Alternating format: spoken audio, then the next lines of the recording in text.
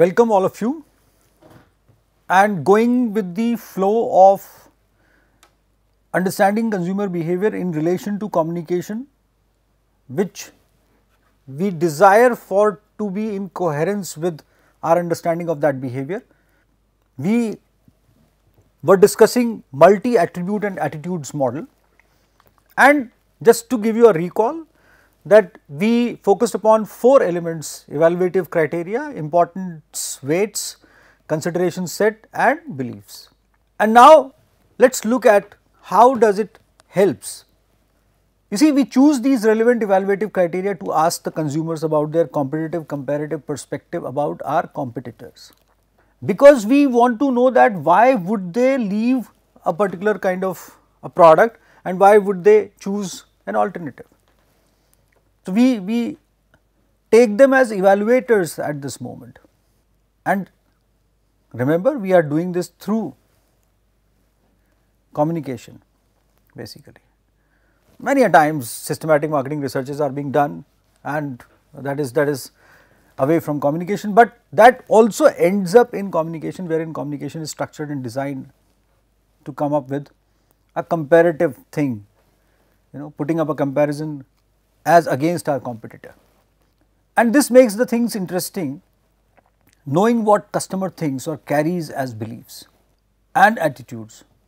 And this helps companies and brands focus upon influencing those comparison through you know some hidden kind of uh, comparative elements uh, projected in messages sometimes very very direct kind of thing basically wherein cutthroat competition is there and, and uh, those are famous examples like Pampers and Huggies I referred to, Coke and Pepsi is very very famous and so on. And you will find so many advertisements specifically targeting each other. Automotives is very common, housing it's very common and despite of the fact that there are several industries wherein demand and supply as I said is huge, still comparison is very very common.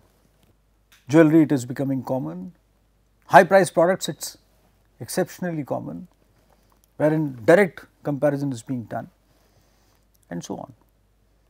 Many a times movies are released on the same day with lots of infusion of messages around those movies.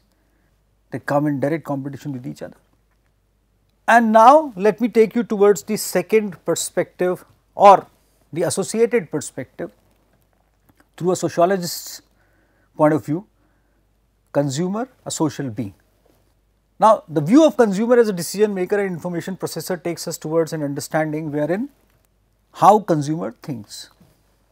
And this second element or second perspective, it focuses on the meaning actually.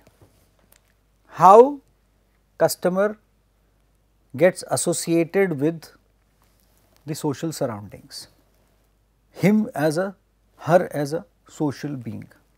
Now, is there a difference in the approach to understand these two perspectives? Yes, it is. There is a huge difference which is fed by two different kinds of research methodologies or approaches I should say. Wherein the psychological perspective can definitely be addressed through experimental researches or many a times objective descriptive research design based researches wherein you hypothesize, you generate a sample frame and so on, we all know that.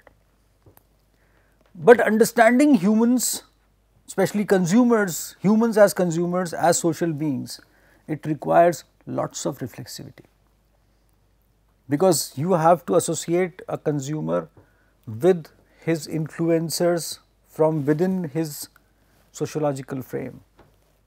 And you see because it is associated with deriving meaning that is why a longitudinal reflexive research is required. That means you have to understand consumers in due course of time. For example, how rational a consumer is in terms of his investment perspective. You have to look at consumers with you know lots of longitudinal understanding and that definitely if, if that consumer is not so affluent You have to think about that uh, consumer or customer with reference to lots of reflexive association during your research. For example, people who are not earning too much or earning you know near to let us say $2, $3, $4, $10 a day or let us say 100, 200, 500 rupees a day. I am not categorizing anyone here, but those people are also investors, they save money. And that is where microfinance industry came in and that is why that is where communication related to microfinance industry also came in. Grameen Bank Bangladesh is a very big example, but there are several replicas of such kind of models or let us say several similar models which advertise about themselves or send messages to those consumers probably through different individualistic kinds of modes, but there we understand them with sociological perspective. So, you see marketing companies try to understand consumers as social beings because not only they want to derive meaning, they want to work upon their influencers as well, social influencers.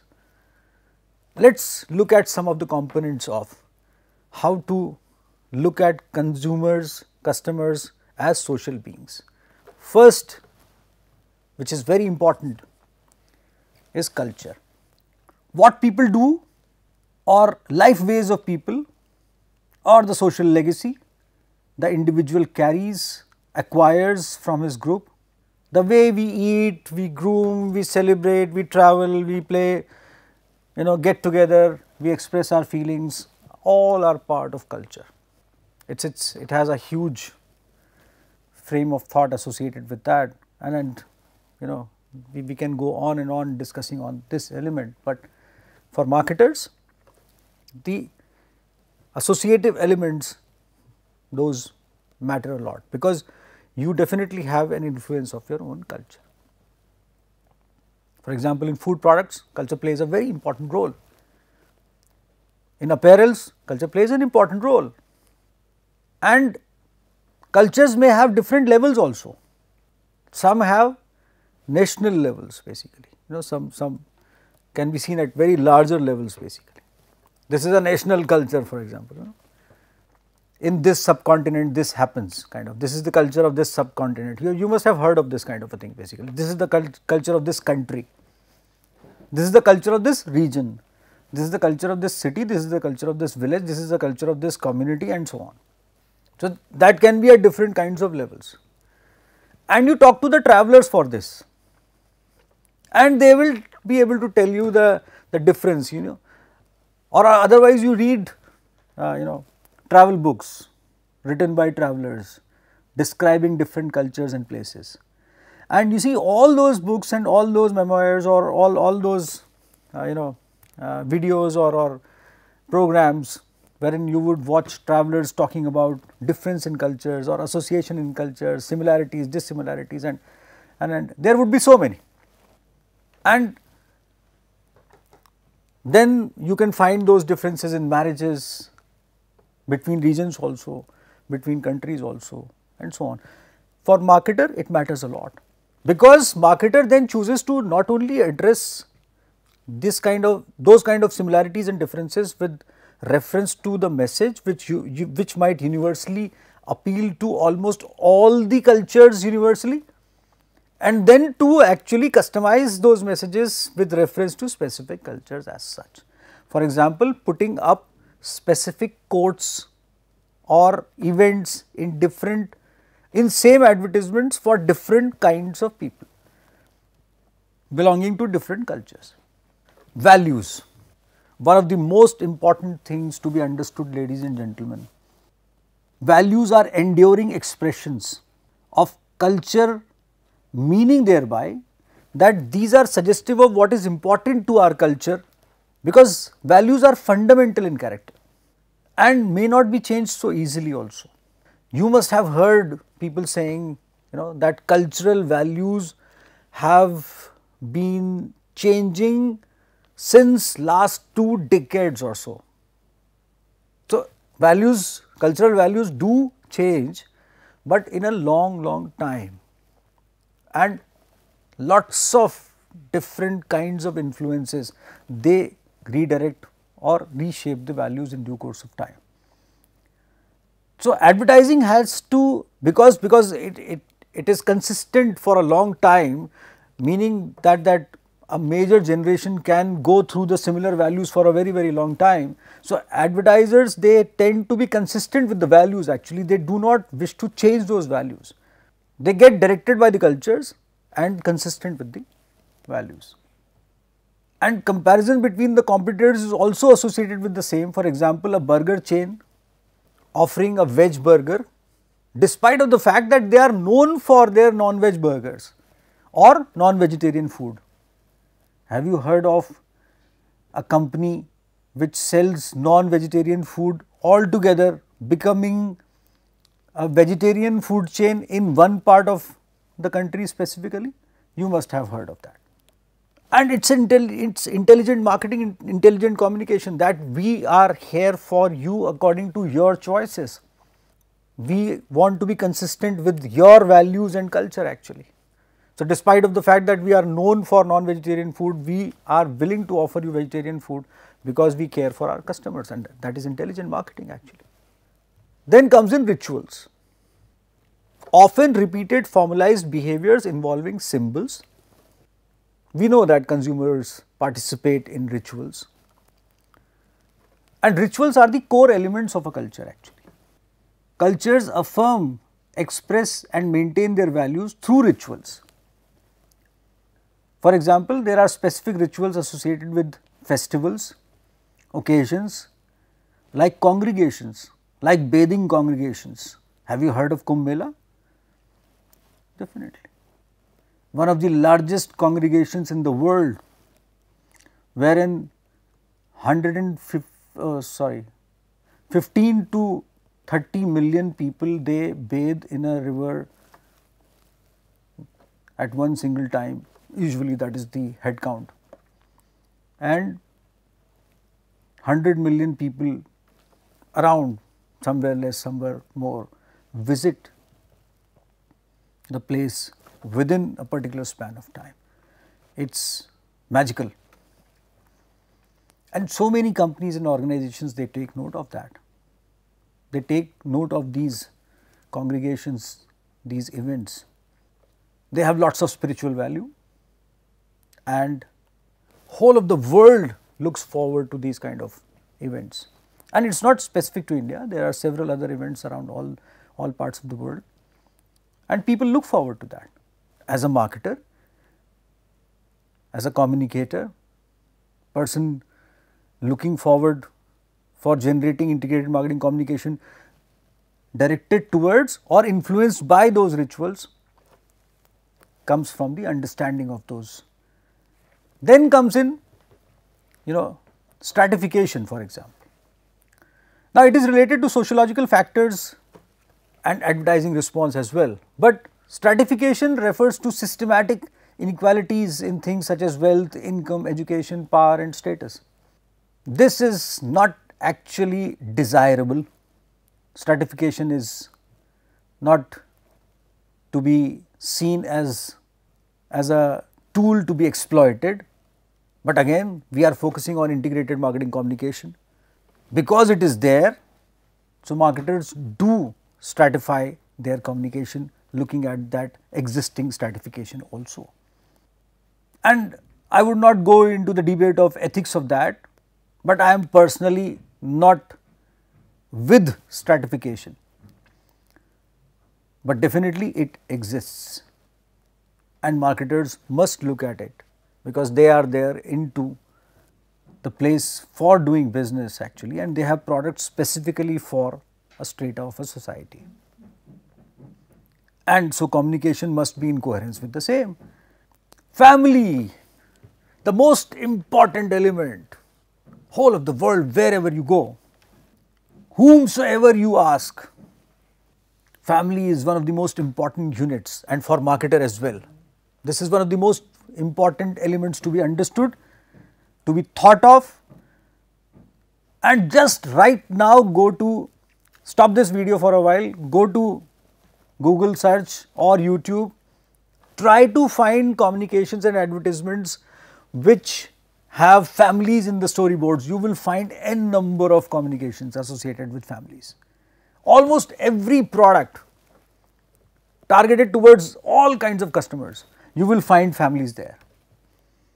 Mobile phones, caller tunes, mobile service providers, apparels, food products, restaurants, McDonald's, milk, Ayurved products, automotives, family is there.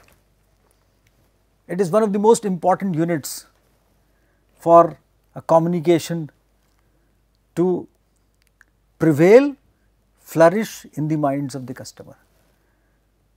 And that is why marketers have spent so much of energy in understanding this element.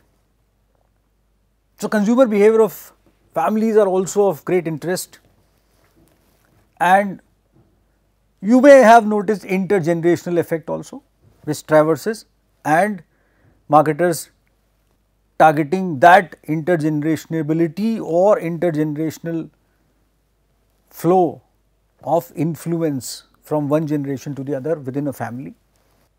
Life stages, life cycle stages, how a family is at its early stage, young stage, slightly elder stage, older stage. So, different kinds of communications. What are the priorities of the family at that particular every stage and so on. So, family structure is, is definitely very very important and this has been well understood as well.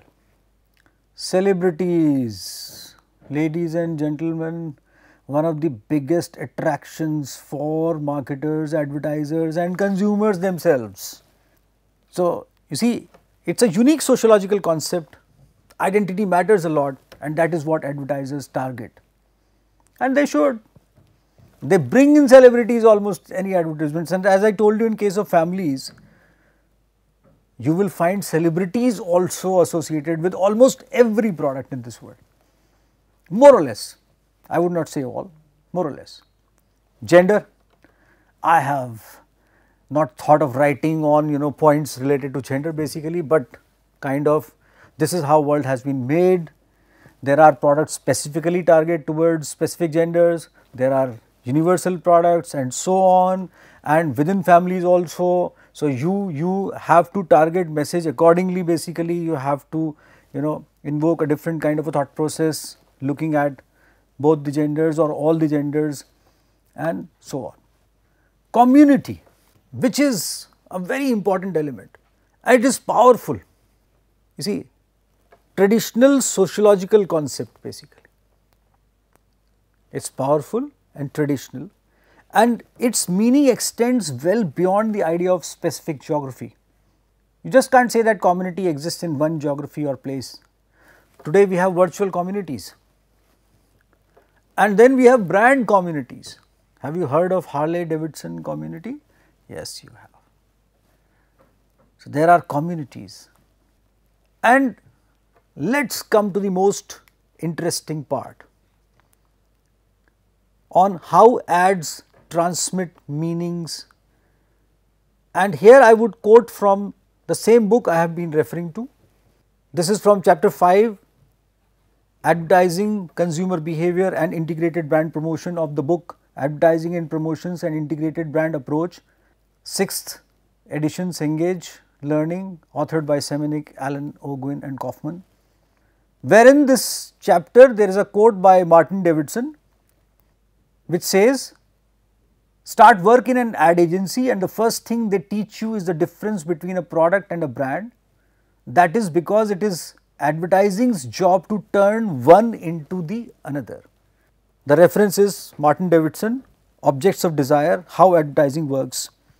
In Martin Davidson, The Consumerist Manifesto, Advertising in Postmodern Times, London Routledge 1992, page 23 to 60.